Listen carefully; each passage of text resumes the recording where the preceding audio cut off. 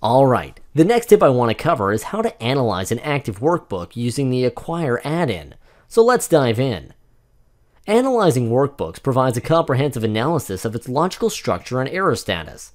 This information can be essential for assessing the potential risk and impact of the workbook in your organization. Inquire and Add-in is an auditing tool that enables you to provide a very detailed workbook analysis.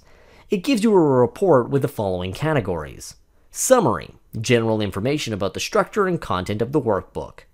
Workbook with subcategories, general workbook statistics.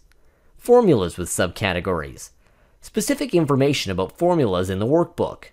Cells with subcategories, specific information about cells in the workbook, ranges with subcategories, specific information about ranges in the workbook, warnings, several types of notifications about workbook structure and content.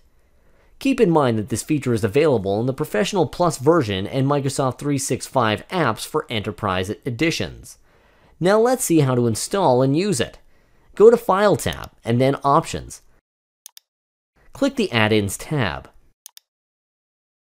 Now choose COM Add-ins from the Manage drop-down list and click Go to display the COM Add-ins dialog box. Find and select the Inquire item and click OK. When the Inquire add-in is installed, Excel displays a new tab, Inquire. To analyze the active workbook, click on the Inquire tab, and from the Range Report section, press the Workbook Analysis button. If prompted, save the workbook. A new dialog box appeared called Workbook Analysis Report. Depending on your workbook's size and complexity, it may take from just a few seconds to several minutes for the report to appear. Select a category to see more details about it, such as the relevant worksheet, cell, or range of cells, data connections, formulas, or errors. To complete a report, first, select the items to include in the report. For example, I will include them all.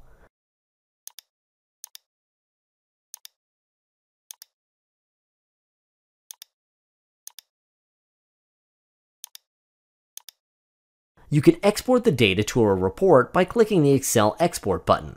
This creates a workbook that contains the workbook analysis data in the format that you want to use to document the subject file.